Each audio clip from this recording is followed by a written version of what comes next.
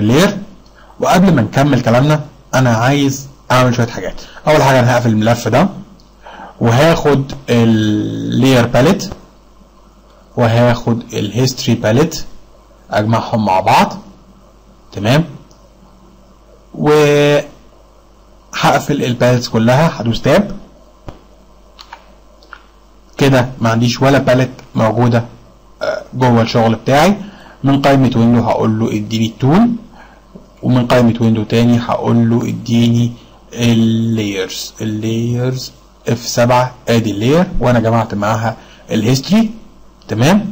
وكمان هروح على window workspace save workspace هسميها layer intro 2 okay؟ ه save ال workspace دي. كده أنا save ت workspace جواها ال layer وال history وأنا عايزهم في المكان ده بالظبط. وعايز افتح ملف جديد file new ال background بتاعته لونها أبيض white وهو default فوتوشوب size وبرضه هسميه بنفس الاسم اللي هو layer intro 2 أنا قصدت أحط ال history معاه لسبب إن أنا هرجع كتير في اللي أنا بعمله ومش محتاج panels تانية أشوف فيها اللي بيحصل. ممكن يكون أكون محتاج إن أنا أشوف ال navigation بس برضه مش محتاجها قوي. آه تعالوا نكبر بس الأول ال palettes دي. وعايز أقول لك شوية حاجات بسرعة كده. أول حاجة ممكن ما يكونش حجم ال thumbnail عندك زي عندي. روح click عليه. right click تمام؟ click عليه. right click مش باين. لو ضفنا layer تانية ورحنا دوسنا عليه right click هيدينا options تانية. ضيف layer و click right click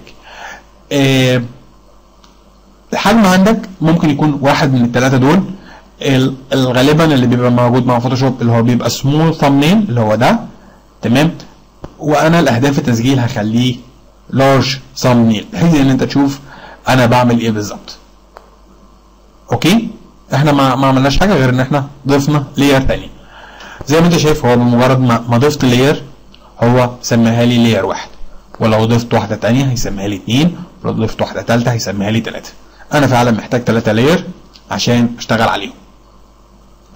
هاخد ال rectangular marquee بتاعي وهاجي في نص الشغل بتاعي وهعمل selection كده صغير زي ده كده. تمام؟ وهدوس Alt و delete Alt و delete يعني أنا مليت ال rectangular marquee ده بال foreground color بتاعي. زي ما أنت ملاحظ إن الجزء الأخضر اللي أنا حطيته ده ظهر في layer 3 بس. تمام؟ هو ظهر في layer 3 لأن layer 3 آخر واحدة معمولة. يعني هي اللي active دلوقتي. طب أنا عايز واحد تاني في layer 2 أ click على layer 2 ف دلوقتي أنا active اللي أنا اللي أنا بعمله ده دلوقتي أنا دلوقتي جوه layer 2 ما تتلخبطش من اللي أنا هعمله. أنا دلوقتي هدوس كنترول ودي وكنترول وديليت كنترول وديليت أنا عملت fill باللون الأزرق. وأنت مش شايف اللون الأزرق بتاعك. اللون الأزرق بتاعك فين؟ اللون الأزرق بتاعك موجود تحت الأخضر. طيب عشان نزود الموضوع حيرة أو نكلكعه شوية ه click على ال layer واحد. كده أنا بقيت layer واحد اللي هي active ه select ال gradient tool تمام؟ أنا مش عارف إيه هترسم إيه بالظبط لأن ال info bar مش موجود عندي. تمام؟ وهاجي أ select من أول هنا من أول selection لحد آخره هنا. وهعمل كده. okay. أنت دلوقتي عندك ثلاثة layer أنت مش شايف ما بينهم منهم غير ال layer اللي لونها أخضر بس. okay؟ أنا هدوس control و D ه deselect تمام؟ وهاخد ال move tool بتاعتي. وهاجي هنا وه click. وأ drag. طب أنا لو عملت دلوقتي click و drag click يعني left click click شمال يعني. right click يعني right click لو عملت دلوقتي click و drag هسحب أنهي layer أنا دلوقتي ال cursor بتاعي فوق ال layer الأخضر بس اللي activated layer واحد. ال cursor بتاعي فوق layer ثلاثة لكن اللي activated layer واحد. طيب click و drag تمام؟ okay. طيب هاجي على لاير 2 كليك عليها هتبقى هي اللي activated click و drag. كده انت عرفت إزاي تحرك layer من مكان لمكان عن طريق ال move tool طيب لو أنا دلوقتي ال layers ال layers بتوعي بمجرد ما ه click عليهم right click أنا دلوقتي جوه layer 2 هو بيقول لي بيخيرني ما بين حاجتين. أول حاجة إن أنا أختار layer واحد لو عملت عليها هبقى جوه layer واحد وهو فعلا عمل activation لل layer واحد يعني اللي أنا بحركها layer واحد. ولو هتفتكر إن أنا ساعة ما دوست هنا أنا فعلا كنت فوق فوق layer واحد فاداني خيرني ما بين الاختيارات اللي موجودة. layer واحد ولا ال background ال area دي ولا اللي تحتها. تمام؟ طب أنا لو رحت هنا رغم إن أنا جوه layer واحد وعملت click هو هيقول لي إيه؟ هو هيخيرني ما بين ال layer اللي أنا فوقها وال layer اللي تحتها. تمام؟ رغم إن أنا في layer تاني أنا في layer واحد. هو بيخيرني ما بين layer اتنين وال background هختار إن أنا layer 2 هيروح أعمل jump طب لو رحت هنا ونفذت نفس الموضوع layer 3 و background okay. تعالوا أزود الموضوع نوع من التحيير أكتر. دلوقتي أنا هرجع لل history وهرجع ل deselect okay وأرجع لل layer تاني. وهروح أدوس على ال layer اللي لونها أخضر. تمام؟ واللي معمول لها activation اللي هي layer واحد. click. بص إيه اللي حصل؟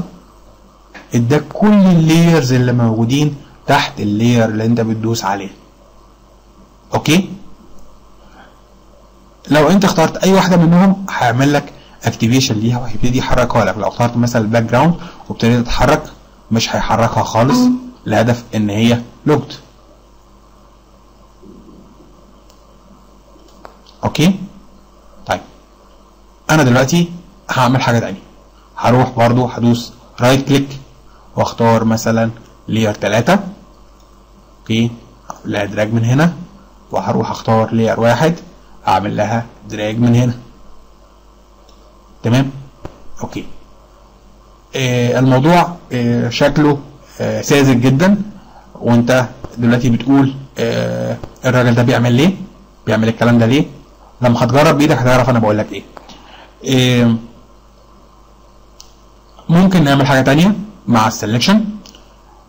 لو أنا دوست right click هيخيرني ما بين ال background أو ال option اللي موجود ده اللي هو select similar layer لو عملت select similar layer بص على ال layers في ال layer palette اللي هيجرى لهم؟ okay. هو عمل jump فين؟ لل background تاني. طب هروح تاني هنا. okay. select similar layer okay. خد كل ال layers اللي من نفس النوع اللي هم transparent تمام؟ أعتقد كده أنت عرفت إزاي ت create new layer وإزاي تتحرك جوه ال layer حاجة أخيرة بس قبل ما ما, ما نقفل هروح على ال background وهروح أعمل لها delete ال delete بمجرد ما بن click على ال delete ال layer اللي active هي اللي بتتمسح. okay؟ هروح ا delete ال layer okay؟ أنا عملت delete لل layer okay. في حاجة برضو ممكن نتفق عليها برضو قبل ما نقفل الدرس ده إن أنت لو جيت على ال layer وعملت عليها click و drag بتيجي تحت التانية click و drag okay؟ يعني أنت ممكن تعيد ترتيب ال layers بتوعك زي ما أنت عايز. مفيش حاجة هنا fixed مفيش حاجة ثابتة. تمام؟ ممكن تجيب أي حاجة مكان أي حاجة. okay؟ أنا هجيب layer 3 مكان layer 2 طبعا ال image بتاعتك ما بتتغيرش لأن الصور في ال في ال images دي مكانها ثابت. آه التغيير الوحيد اللي هيحصل لو ال layer دي عاملة intersection مع بعض. يعني إيه اللي هيجي فوق؟ إيه؟ جوه ال image بتاعتك الكلام ده مش هيحصل غير لو الكلام ده intersected مع بعض. جرب اللي أنا عملته ده وأشوفك الدرس الجاي مع ال layers برضو.